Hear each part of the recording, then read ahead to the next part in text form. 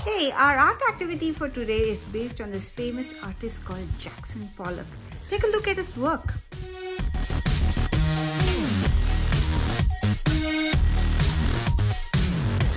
Ananya, what do you think of Jackson Pollock's painting? I think he splatters paint all over his canvas. Well, Jackson Pollock liked to paint with his whole body and he used to like splashing paint and throwing paint on a horizontal canvas. I think we should try the same. What do you think, Ananya? Yep. Let's go and try it out.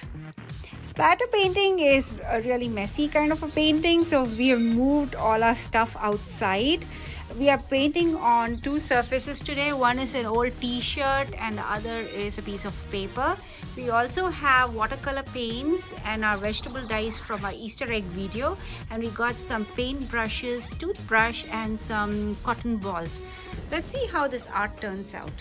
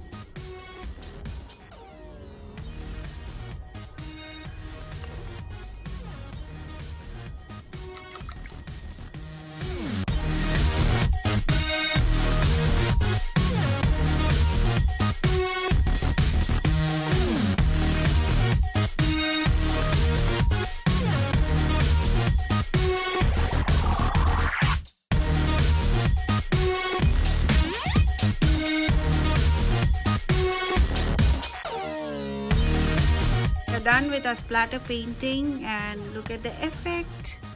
That took surprisingly little time, but it was so much fun splashing paint all over.